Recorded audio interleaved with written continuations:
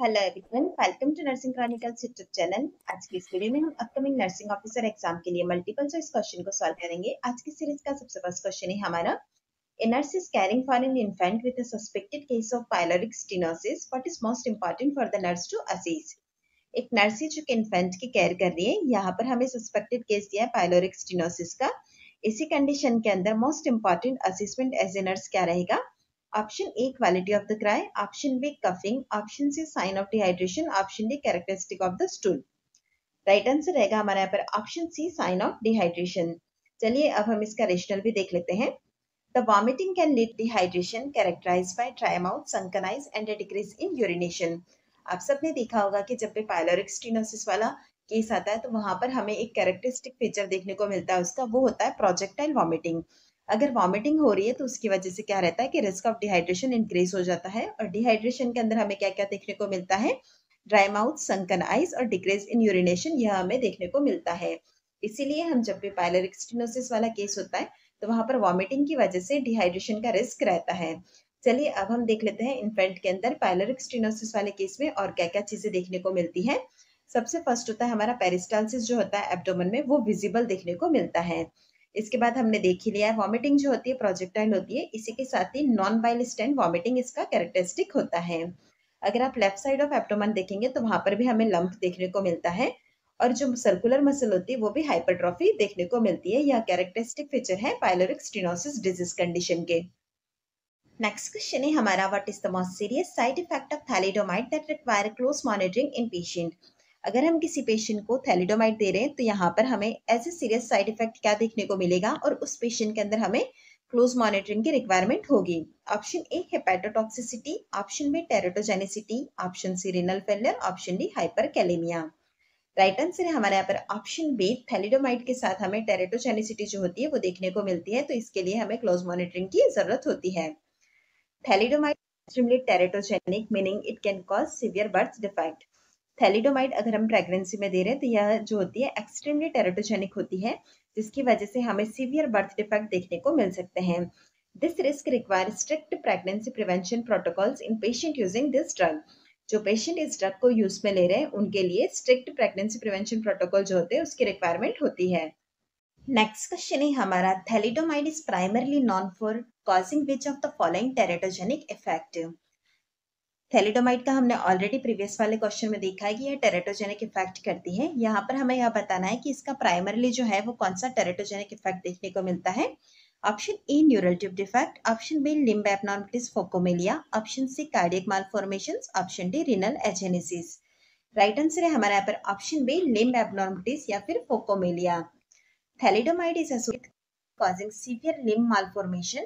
Particularly focomelia यानी कि shorter limbs when taken during pregnancy अगर ड्यूरिंग प्रेगनेंसी थैलिडोमाइड मेडिसिन लिए तो यह टेरेटोजेनिक इफ़ेक्ट करती है, जिसकी वजह से क्या होता है कि सीवियर लिम मालफॉर्मेशन देखने को मिलता है और पर्टिकुलरली जो होता है, जो शॉर्टन लिम्स देखने को मिलते हैं, जिसे कि हम फोकोमिलिया भी कहते हैं। फोकोमिलिया का कंडीशन हम इस इमेज के अंदर भी देख सकते हैं।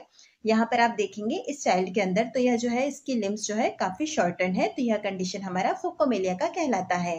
नेक्स्ट क्वेश्चन है हमारा the boat shaped heart sign on a chest X ray is most commonly associated with which condition एक चेस्ट एक्सरे के अंदर बुट शेप्ड हार्ट साइन देखने को मिल रहा है यह जो बुट शेप्ड हार्ट साइन है यह कौन सी कंडीशन के साथ कॉमनली एसोसिएट होता है? Option A transposition of the great arteries option B tetralogy of Fallot option C ventricular septal defect option D contraction of the aorta right answer है हमारा यहाँ पर option B tetralogy of Fallot अगर बात करते हैं हम टेट्रालॉजी ऑफ़ फेलोट की तो इसके अंदर मेजर चार डिफेक्ट देखने को मिलते हैं। सबसे फ़र्स्ट है हमारा पल्मोनरी स्टिनोसिस सेकंड आता है right ventricular hypertrophy third number पे आता है ओवर ऑफ़ आउटा और फिर आता है हमारा वेंट्रिकुलर सेप्टल डिफेक्ट यह चार मेजर डिफेक्ट हमें टेट्रालॉजी ऑफ़ फेलोट के अंदर देखने को मिलते हैं।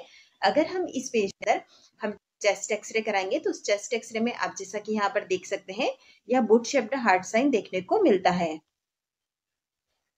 नेक्स्ट क्वेश्चन है हमारा celiac disease characterize by an autoimmune reaction to the indigestion of which substance celiac disease के अंदर क्या होता है? एक ऑटोइम्यून रिएक्शन होता है। यहाँ पर हमें यह पूछा गया कि किस सब्सटेंस से इस डिज़ीज़ कंडीशन के अंदर इंडाइजेशन होता है? Option A sucrose option B fructose option C gluten option D lactose right answer है हमारा यहाँ पर option C gluten celiac disease an autoimmune disorder in which indigestion of gluten जैसा कि हमें क्वेश्चन में पूछा गया था सिलेक्ट डिज़ीज़ हमारा एक ऑटोमिन डिसऑर्डर है, जिसके अंदर की ग्लूटेन का इंडाइजेशन होता है। इसीलिए हम सिलेक्ट डिज़ीज़ वाले पेशेंट को बोलते हैं कि ग्लूटेन वाली डाइट जो है, उसे अवॉइड करना चाहिए। क्वेश्चन है हमारा what is the Silverman Anderson score used in infant और इन न्यूबॉर्न्स इन्फेंट या फिर न्यूबॉर्न के अंदर सिल्वरमैन एंडरसन स्कोर को क्यों यूज़ में लिया जाता है? Option A assessing respiratory distress option B evaluating the severity of jaundice option C assessing neurological development option D measuring the body temperature right answer है हमारा यहाँ पर option A assessing respiratory distress चलिए, अब हम इसके बारे में थोड़ा सा ओवरव्यू कर लेते हैं. The Silverman Anderson score is a clinical tool used to assess the severity of acute respiratory distress in newborns. Newborn के अंदर एक्यूट रेस्पिरेटरी डिस्ट्रेस जब होता है तो वहाँ पर उसका सिवियरिटी कितना है, इसे असेस करने के लिए हम सिल्वरमैन एंडरसन स्कोर को as a clinical tool use में लेते हैं. Particularly for determining the need for respiratory support system in preterm infant. Preterm infant जो होते हैं या फिर वो इन्फेंट जिनके अंदर की रेस्पिरेटरी डिस्ट्रेस सिंड्रोम यानी कि आरडीएस होता है, उनके अंदर रेस्पिरेटरी सपोर्ट सिस्टम की कितनी आवश्यकता है, उसे डिटरमाइन करने के लिए यह स्कोर जो है उसे यूज़ में लिया जाता है। नेक्स्ट क्वेश्चन है हमारा in newborns a MUSC measurement of less than 11.5 centimetre is generally considered in एक न्यूबॉर्न के अंदर हमने मिड अपर आर्म सर्कमफेरेंस का मेज़रमेंट किया है, और यह जो मेज़रमेंट है, वो लेस देन 11.5 सेंटीमीटर है। तो यह जनरली किस चीज़ का इंडिकेशन है? Option A normal nutritional status option B mild malnutrition option C severe malnutrition option D over nutrition right answer है हमारा यहाँ पर option C severe malnutrition आप यहाँ पर इमेज के अंदर एक स्केल को देख रहे होंगे। इसके अंदर आप तीन कलर देख रहे हैं। सबसे फ़र्स्ट आता है हमारा रेड कलर उसके बाद है येलो कलर और फिर है ग्रीन कलर यह तीनों कलर के अंदर जो एमयूएससी का मेज़रमेंट होता है, वो अलग अलग होता है।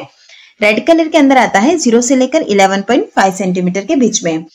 येलो कलर जो है, उसके अंदर मेज़रमेंट है हमारा 11.5 से लेकर 12.5 सेंटीमीटर के बीच में। ग्रीन कलर जो है फ्रॉम 12.5 सेंटीमीटर से स्टार्ट हो रहा है। अगर हम बात करते हैं तो इसके हर कलर कोड के अकॉर्डिंग माल न्यूट्रिशन जो है, वो अलग अलग होता है। अगर हमारा एमयूएससी का मेज़रमेंट जो है, वो रेड कलर यानी कि ज़ीरो से 11.5 के बीच में है तो यह इंडिकेट कर रहा है कि सिवियर एक्यूट माल न्यूट्रिशन है। अगर येलो कलर यानी कि 11.5 से लेकर 12.5 के बीच में है तो मॉडरेट एक्यूट माल न्यूट्रिशन वाला कंडीशन है। लेकिन अगर यह ग्रीन कलर यानी कि 12.5 सेंटीमीटर से ज़्यादा है तो कोई एक्यूट माल न्यूट्रिशन का कंडीशन नहीं है। नेक्स्ट क्वेश्चन है हमारा a child present with chronic diarrhoea poor growth and abdominal distension blood test reveal elevated anti tissue transglutaminase antibodies what is the next step in confirming the diagnosis of celiac disease एक child है जो कि present case है chronic diarrhoea का complain है poor growth है, इसी के साथ ही एब्डोमिनल पे डिस्टेंशन है। ब्लड टेस्ट करवाने पर यह रिवील होता है कि यहाँ पर एंटी टिश्यू ट्रांसग्लूटामिनेस यानी कि टीटीजी जो है, वो एलिवेटेड है। तो यहाँ पर क्या नेक्स्ट स्टेप रहेगा हमारा for confirming the diagnosis of celiac disease option दिए गए हमें option E perform a genetic test for H L A DQ two और H L A DQ eight option B perform an upper gastrointestinal endoscopy with duodenal biopsy option C के अंदर हमें दिया गया है repeat anti TTG testing after six month option D perform a colonoscopy right answer रहेगा हमारे यहाँ पर option B perform in upper GI endoscopy with duodenal biopsy जैसा कि हमने प्रीवियस वाले क्वेश्चन में देखा था कि सिलियक डिसीज के अंदर जो होती है, हमारा इंडाइजेशन रहता है ग्लूटेन का। अगर हमें डायग्नोसिस करना है इसका कंफर्मेशन तो सबसे फ़र्स्ट हमें क्वेश्चन में दिया गया था कि जो एंटीटीटी जी है, वो पॉजिटिव है। तो इसके बाद हम कंफर्मेशन के लिए क्या करते हैं? Confirmation with duodenal biopsy showing characteristic histopathological changes question है, हमारा in postpartum period, the fundus of the uterus is expected to go down normally about centimeter per day. Postpartum period के अंदर क्या होता है? जो यूट्रस का हमारा फंडस है, वो नॉर्मली गो डाउन होता जाता तो यह हमें यह पूछा गया है कि पर डे कितना सेंटीमीटर एक्सपेक्टेड हम करते हैं। Option A one centimetre option B two centimetre option C two point seven centimetre option D three point five centimetre right answer रहता है हमारे यहाँ पर option A one centimetre The fundus continues to descend into the pelvis at the rate of approximately 1 centimeter और finger breadth per day. जो हमारा funds है, वो डिसेंड होता है पेल्विस के अंदर और उसका जो रेट होता है, या तो वन सेंटीमीटर पर डे या फिर one finger breath per day रहता है। नेक्स्ट क्वेश्चन है हमारा a healthy diet in pregnancy is needed to pregnancy के को हेल्दी डाइट लेने के लिए कहते हैं, इसकी आवश्यकता क्यों होती है? Option A prevent miscarriage option B prevent birth defects option C, help to baby's growth and development. Option D, none of the above. Right answer है हमारा यहाँ पर ऑप्शन सी प्रेगनेंसी के अंदर क्या होता है बेबीज की ग्रोथ एंड डेवलपमेंट के लिए हेल्दी डाइट लेना आवश्यक होता है इसीलिए हम ड्यूरिंग प्रेगनेंसी मदर को एडवाइस करते हैं हेल्दी डाइट लेने के लिए